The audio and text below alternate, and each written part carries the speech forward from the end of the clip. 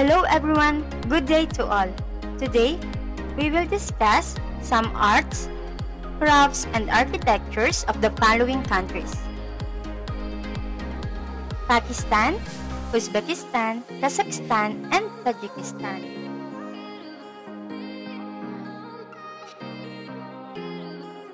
Are you ready? Without further ado, let us start. Familiar ba kayo sa mga larawang ito? Very good! Ito ay flag ng Pakistan at itong mga larawang ito ay matatagpuan sa Pakistan.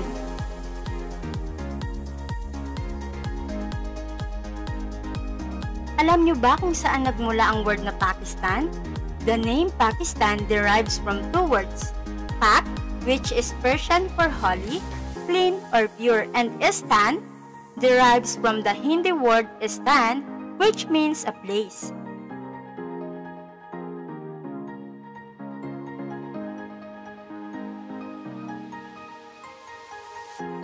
I will tell you three trivia about Pakistan.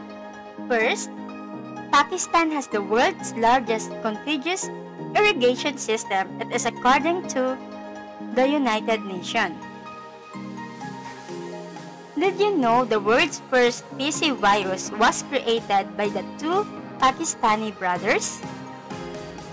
And some of the highest mountains in the world are located in Pakistan.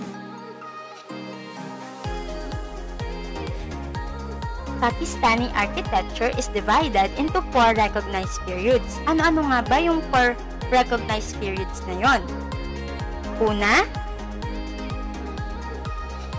pre-Islamic, Islamic, colonial, and post-colonial.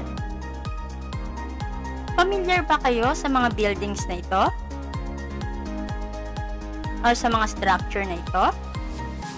Around the middle of the 3rd millennium BCE, an advanced urban culture developed for the first time in the region, with large buildings, some of which still survive to this day like Mohenjo-Daro,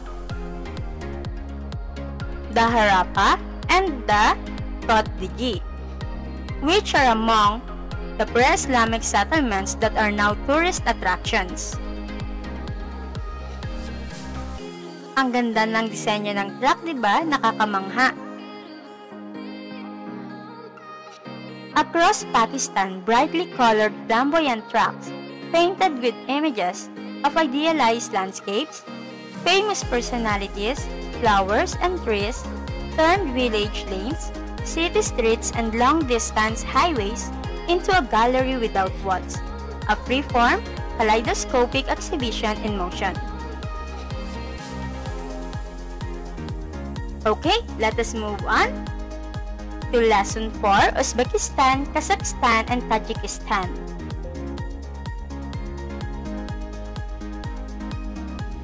Ang gaganda ng disenyo ng mga tela, di ba? People who inhabited the region of present Uzbekistan are known for making printed cloth, printed tablecloths, curtains, bedspreads, shawls, and various coverlets were utilitarian and serve as the daily round ornament as well.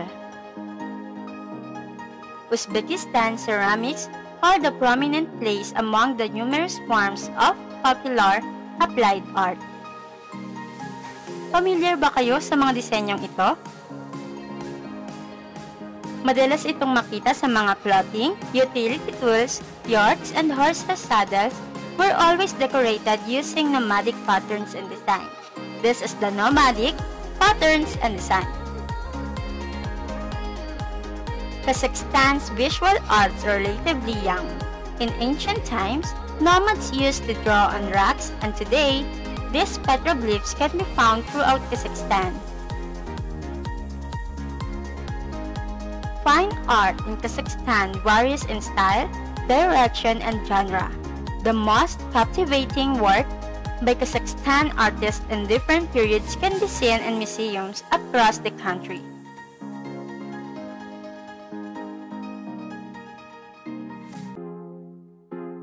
Tajiks have been making fabrics, utensils, musical instruments, carpets, furniture, jewelry, and many other things for many centuries. The art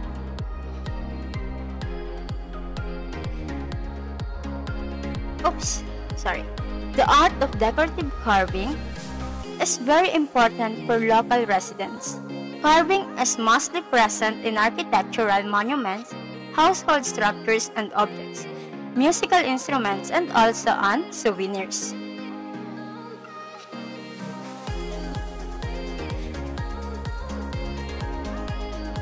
When Islam came, Tajik's carving gradually changed to Arabian inscriptions, using images of people and animals while some carvers prefer vegetative, geometrical patterns. In architecture, ornaments in the form of lotus, tulips, and other flowers are more common. Okay, that's all for today. I hope may natutunan kayo. But before we end this, kindly answer this question. What have you learned on this lesson? Kindly type your answer on the comment box below. Thank you and God bless to all.